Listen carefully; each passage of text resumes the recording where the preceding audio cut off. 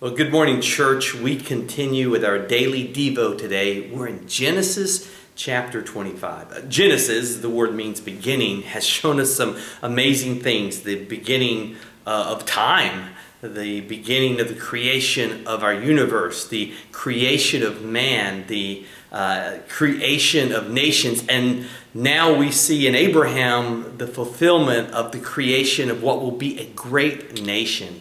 In chapter 25, we go into Abraham's life and we see some things that a lot of people miss who don't read the Bible. matter of fact, a great little trivia question would be how many sons does Abraham have? And everyone would say two, right? You'd say Isaac and Ishmael. Uh, but if you read this chapter, you see that Abraham takes another wife and has six more sons. So Abraham has a total of eight sons.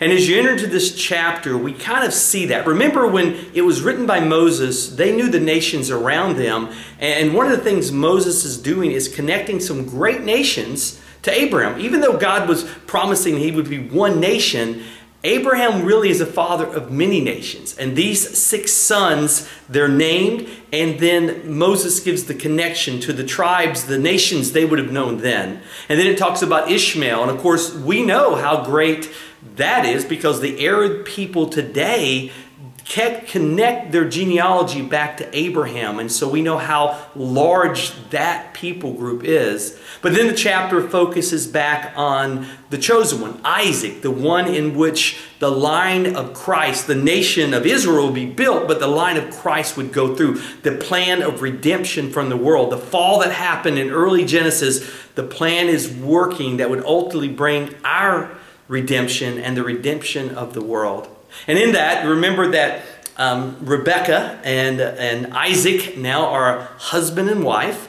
Uh, and it talks about them having a child. A matter of fact, uh, we know he gets married at 40. He's 60 now and he finally has a child. Uh, and he doesn't have one, he has two. Now, in that day, they didn't have ultrasounds and all that, so they really didn't know twins were being born until they were born. Now, she knew there was some disturbance that later she would categorize, or Moses would, as a, a battle that Esau and Jacob, even in the womb, even before they were born, were battling with one another. And Esau is born first, and, and then Jacob's grabbing his heel. And there's a prophecy that though the younger, he would rule over the older, which was unusual in that day. Now, I don't know if any of you have twins. I've had some cousins that were twins, and the one that was born only a few minutes earlier loved the Lord over the fact that he was still the older one. And it was like that, except for that day, being firstborn had some real practical applications, which we'll talk to in a minute. And we see as they grow up, we see kind of a dysfunction in the family. Now, I love the Bible because it's so realistic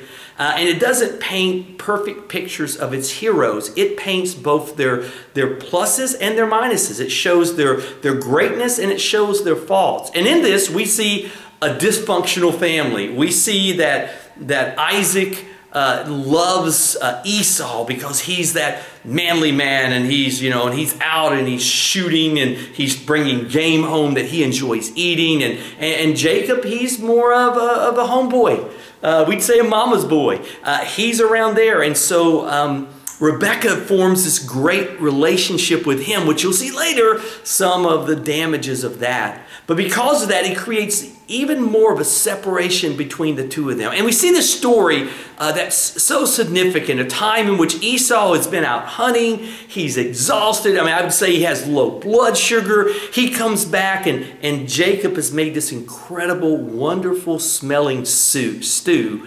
And Esau says, Give me some or I will die. Now, he wasn't going to die. We can see in Esau's character there that he's kind of exaggerating but Jacob sees an opportunity. He says, I tell you what, I'll give you the soup if you sell your birthright.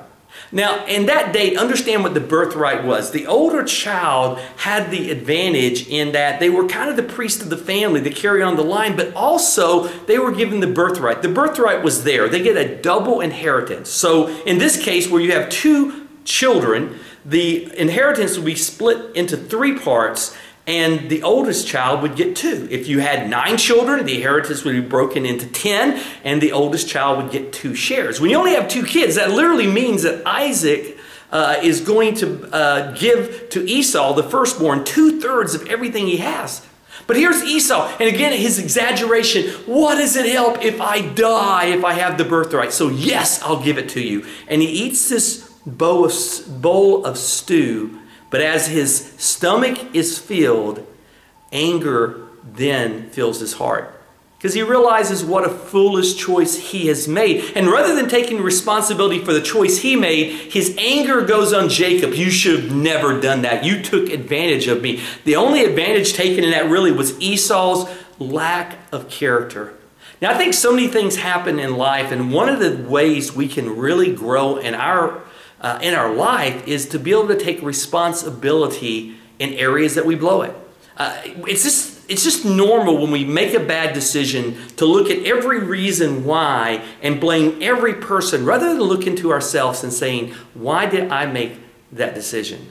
I remember reading a book, having to take a psychology class, and it talked about what they called the responsibility factor.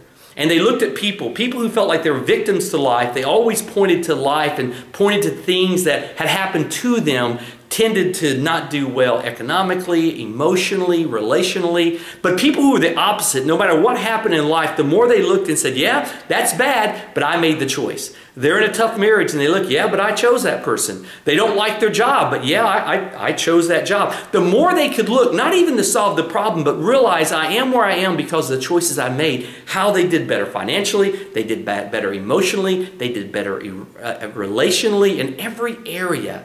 And when I read this, I couldn't help but just read that part how Esau would not take the responsibility that he went out without food. He came back hungry. He saw a need and he sold his birthright. But just maybe today you could look and say, is there something in my life that I'm blaming others that I need to look to myself and say, where do I have responsibility? And accept that and move forward from there. Guys, so glad you're part of the Daily Devo. Continue tomorrow our daily devotion challenge.